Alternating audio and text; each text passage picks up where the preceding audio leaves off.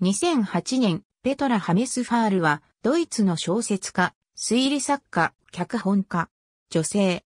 ドイツ西部のノルトベストファーレン州、ティッツ生まれ。ケルン郊外のケルペン在住。ドイツでは、ケルンのアガサ・クリスティ、ライン河畔の女性版、スティーブン・キングなどと呼ばれている。17歳で小説を書き始める。1991年にサイコスリラー小説、男たちを愛した女でデビュー。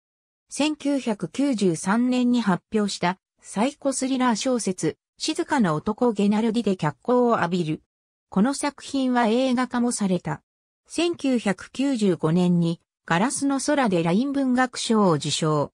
その後、1999年発表の記憶を埋める女が大ヒットとなり、人気ミステリ作家としての地位を確固たるものとする。同年発表の人形を埋める男、翌2000年発表の母親も相次いでベストセラーになった。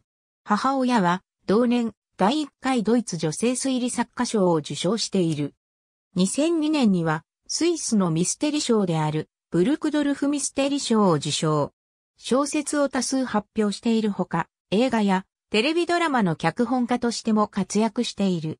娘のミヒャイラ・ F・ ハメスファールは2010年にファンタジー作家としてデビューした。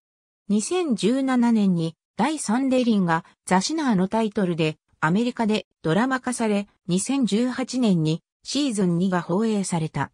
日本ではネットフリックスのザシナー記憶を埋める女、ザシナー隠された理由として放映された。